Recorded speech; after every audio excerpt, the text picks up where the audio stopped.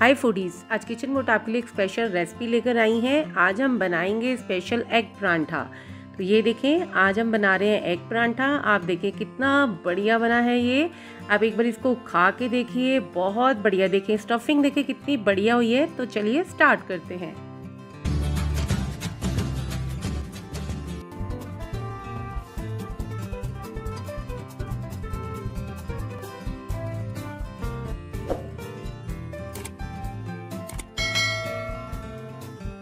ये हमने आटा लिया है, गेहूँ का आटा है, जो आप घर में जो आप चपाती बनाते हैं, ये वो वाला आटा है।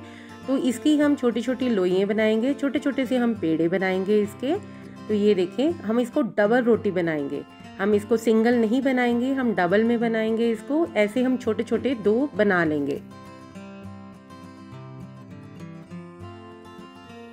देखिए फ्रेंड्स, ये दो बन गए हैं, अब हम इसको छोटी छोटी सी रोटियाँ ये बेलेंगे छोटे छोटे से।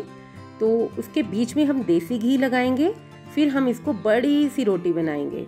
तो ऐसे ही हम छोटे दोनों जो ये पेड़े हैं, इनको हम दो छोटी छोटी रोटी बना लेंगे।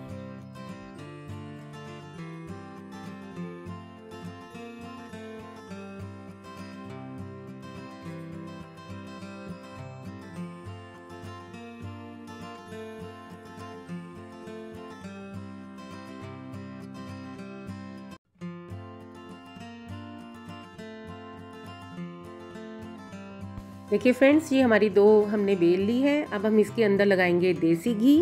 ये देखें आप रिफाइंड ऑयल भी लगा सकते हैं, पर मैं लगा रही हूँ देसी घी इसमें। अब हम दूसरी जो ये ये हमने चपाती बेली है, हम इसके ऊपर रख देंगे। ये देखें और साइड से हम ऐसे दबा देंगे कि ये इसके साथ चिपक जाए सारी। तो ये हमने सारी इसको कर दिया है सेट तो अब हम एक बड़ी सी रोटी इसकी बना डालेंगे, क्योंकि हमने इसके अंदर एग हमने फिल करना है। तो बड़ी रोटी होगी तो एग इसके अंदर अच्छा जाएगा। तो ये देखें, ये हमारी रोटी रेडी हो गई है।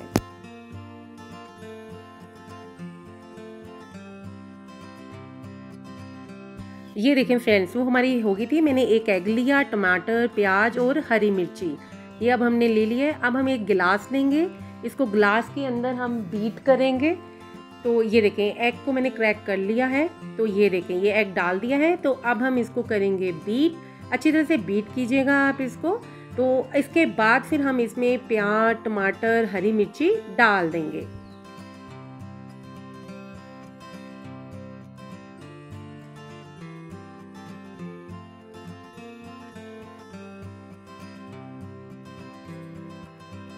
तो अब हम इसमें डालेंगे टोमेटो सॉस टोमेटो सॉस के साथ भी बहुत अच्छा फ्लेवर आता है। तो अब हम डालेंगे इसमें नमक, ये हमने डाल दिया नमक, अब हम डालेंगे लाल मिर्ची और थोड़ा सा हम डालेंगे गरम मसाला। तो अब हमने इनको डाल दिया है तो हम अच्छी तरह से इसको बीट करेंगे। देखिए फ्रेंड्स आपके सामने मैं कितनी इजी इजी रेसिपीज़ लेकर आती हूँ। अगर रेसिपी अच्छी लगती है तो लाइक का बटन ज़रूर प्रेस करें। और अगर आप चैनल पे नए हैं तो सब्सक्राइब ज़रूर करें। ये देखें ये हो चुका है हमारा देखिए फ्रेंड्स तवा हमारा गर्म हो चुका है। अब हमने बड़ी सी रोटी इसके ऊपर डाल दी है। तो अब हम इसको थोड़ा सा सेकेंगे। ये देखें, यहाँ से थोड़ी सी सीख रही है तो हम इसको पलट देंगे। ये देखें, ऐसे ही हम पलट लेंगे। तो देखिए फ्रेंड्स हम डबल रोटी इसलिए बनाते हैं क्योंकि ये साइड से खुल जाती है। आप ये देखें, यहाँ से हमने डबल रोटी बनाई है और ये साइड से थोड़ी सी ऊपर हो रही है। ये हमारी आराम से खुल जाएगी।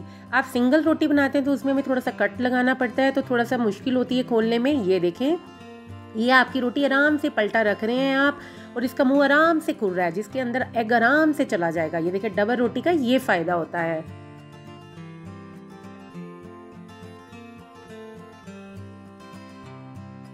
तो अब हम थोड़ा थोड़ा एग इसमें डालते जाएँगे। आप ज़रूरी नहीं है ये पूरा एग इसमें डालें तो आप इसको सर्विस स्पून से भी डाल सकते हैं। ये देखिए, थोड़ा सा एग बाहर निकलेगा इसका। तो ये देखें, अब हम इसको दबा देंगे। अभी ये कच्चा अंडा है इसके अंदर। अब हम दबा रहे हैं तो थोड़ा सा बाहर निकल रहा है। ये निकलेगा तो इसको हम साइड से अंदर कर देंगे। थोड़ा सा नीचे भी निकला होगा। तो अब हम इसके ऊपर लगाएँगे थोड़ा सा देसी घी। देखिए, ऊपर से देसी घी लगा रहे हैं, तब भी साइड से निकल रहा है वो। तो कोई बात नहीं, घबराने की कोई ज़रूरत नहीं, हम इसको अंदर कर देंगे साइड से। ये देखिए, हम इसके साथ चिपका रहे हैं ये। एग हमारा पका हुआ ही मिलेगा। तो ये देखें, ये हो चुका है, ये हमारा हमने देसी घी लगा दिया है। अभी हम इसको पलट देंगे।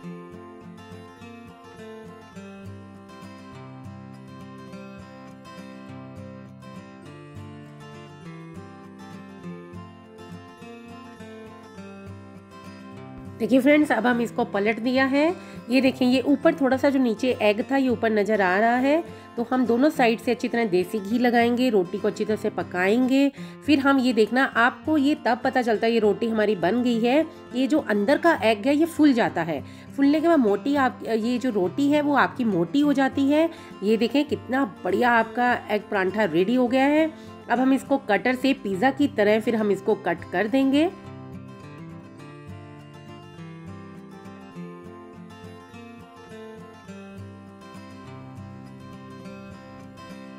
ये अब हमने प्लेट में सॉस लगा दी है और हम एक एक करके ये पिज़्ज़ा शेप में जो हमने रोटी काटी है, ये रख देंगे। एग परांठा हमारा।